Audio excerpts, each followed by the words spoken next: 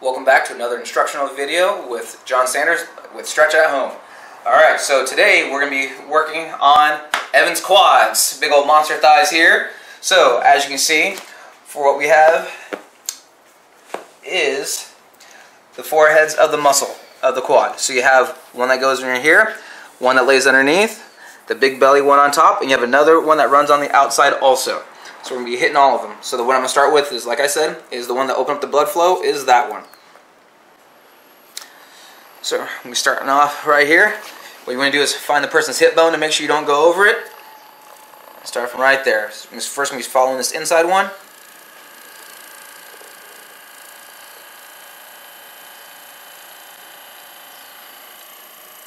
The important thing is to follow the muscles on how they go.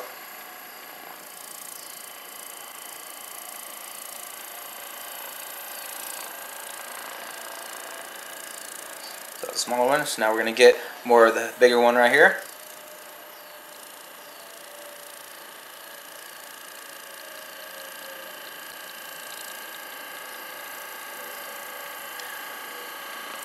The white part right here is more the tendon part. You don't really want to stay over that. You want to stay over more of the red part, which is the belly of the muscle.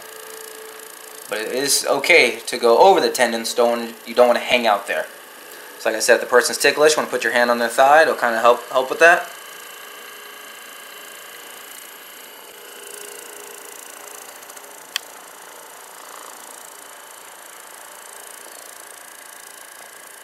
All the way up to the hip bone and all the way down.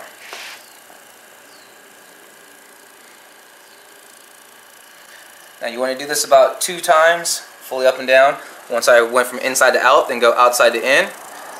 But just for speed reasons, we're going to speed this up and I'm going to get right to the next part. And now that I've opened up his blood flow, now I'm going to switch to the flatter one so I can get more of a bigger surface area as I go over his muscles. Now I really want to dig in there.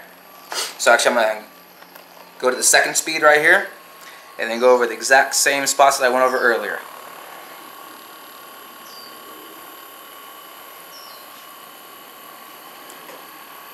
So I'm on the inside of the muscle right now. All the way down. Find their knee. Go right to the inside of that bone. And then back on up.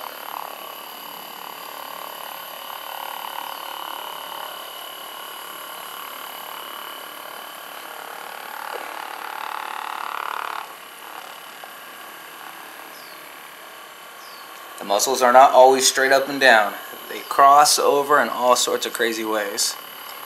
So having a suit like this really does help. So I can see exactly where his muscles are. Make sure I go over it properly, don't mess up.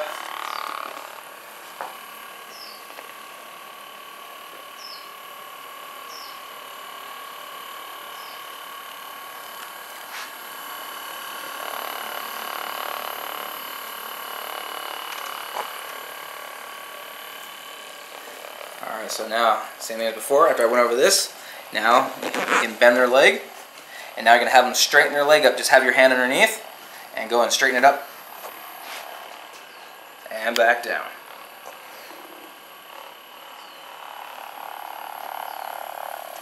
This is just the quad that we're doing here.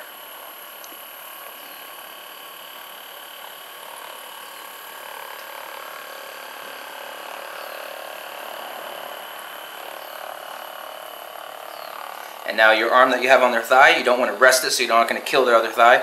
Unfortunately, you got to do, do a little work here and man, hold their leg up.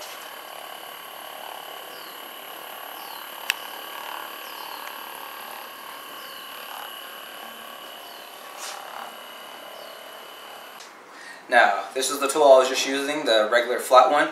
You can go to this one. I'd actually recommend not doing it because not a lot of people have a lot of have a good amount of muscle in their legs. you actually may end up hitting the femur nice uh, down below.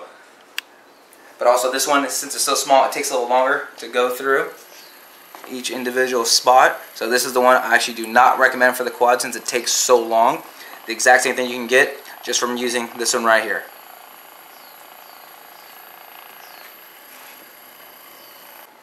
And now we're going to focus around just the knee, around the knee. Going to have you get the patellar tendon. So what you can do is still, once again, put your hand underneath. Put it right, and this is a spongy one. Make sure you put it right on the bottom of the patellar tendon. Just rotate up right over the right over their kneecap, the patella. Straight up and down. Exactly how this white tendon part goes. Like I said, the patellar tendon. Just go over the white part.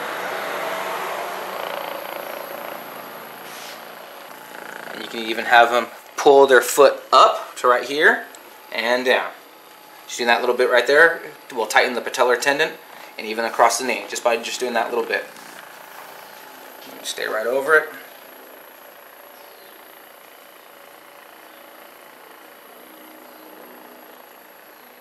Just go fully around the kneecap.